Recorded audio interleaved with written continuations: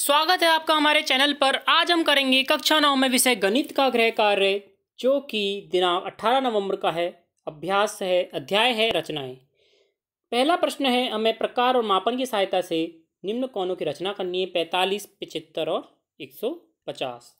आइए देखते हैं पैंतालीस। हमें सीधी रेखा खींचनी है और चाँद, जो आपका चांदा होता है, चाँद की सहायता से पैंतालीस डिग्री पर एक कौन का नाप लेना है और उसे मिला देना है और पैंतालीस लिख देना है। इसी प्रकार हम पिचहत्तर का करेंगे और इसी प्रकार हम डेढ़ सौ का, एक सौ पचास का करेंगे। अगला प्रश्न देखिए। निम्नलिखित कौनों की रचना करनी है और चंदे की सहायता से नाप कर उत्तर की पुष्टि भी करनी है।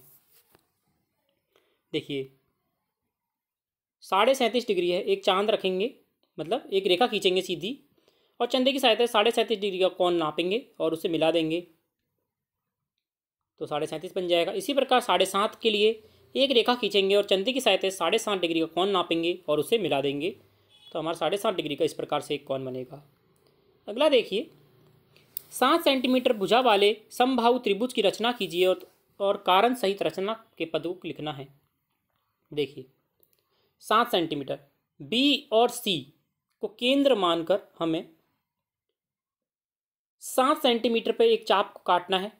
और इसी प्रकार सी से भी हमें एक चाप को काटना है, उसे मिला देना है। तो क्या बन जाएगा? एक संभव त्रिभुज बन जाएगा, जो जिसकी तीनों भुजाएँ सात सेंटीमीटर की होती है संभव त्रिभुज होता है। तो आपको इस प्रकार से बनाना है। अगला देखिए। दी गई प्रारंभिक बिंदु पर साठ डिग्री के एक कोण की रचना करनी है। आइए करते हैं। देखिए, ये साठ डिग्री का एक कौन है बी ए सी तो हमने किस प्रकार से इसको बनाया है, हम आपको बता देते हैं। रचना जो इसकी करनी है अब किस प्रकार से कौन बनाना है? देखिए, साठ डिग्री कौन की रचना। दी गई किरण ए बी पर ए को केंद्र मानकर कोई भी त्रिज्या लीजिए और एक व्रत को, चाप को खींचिए। माना यह चाप ए बी के बिंदु पी पर काटती है, जैसे कि हम बता सकते हैं इधर। इसी प्रकार से पी को केंद्र मानकर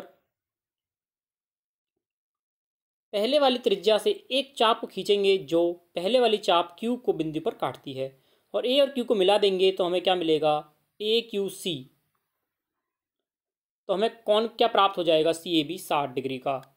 अगला देखिए हमें। पिचहत्तर डिग्री के कौन की रचना करनी है और किन दो कौनों को बनाना अनिवार्य होगा? देखते हैं। देखिए, पिचहत्तर। हम ए बी को पाँच सेंटीमीटर लेंगे।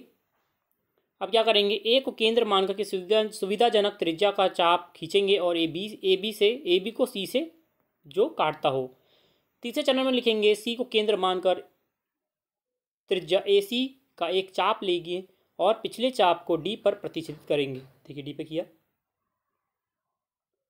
फिर डी को केंद्र मानकर ए सी त्रिज्या लेकर एक दूसरा चाप लेंगे, जो पहले चाप को ई पर प्रतिष्ठित करता है। इसी प्रकार चरण पाँच में डी और ई को केंद्र मानकर हम, जो डी है, उसका आधे पर त्रिज्या लेकर दो चाप इस प्रकार लगाएँगे कि एफ़ प्रतिष्ठित करे एफ़ पर करे फिर डी और के को केंद्र मानकर के डी के आधे को लेकर हमें दो चाप लेंगे जो क्यू को प्रतिष्ठित करे तो इसमें दो कौन बनाने कौन कौन से अनिवार्य हो जाएँगे एक तो नब्बे डिग्री का और एक पिछहत्तर डिग्री का तो हमें बी के क्यू क्या प्राप्त होगा पिछहत्तर डिग्री और इसमें जो प्रश्न पूछा गया है उसमें क्या आ जाएगा पिचहत्तर और नब्बे। बच्चों, ये था हमारा आज का गृह कार्य रही चैनल से। धन्यवाद।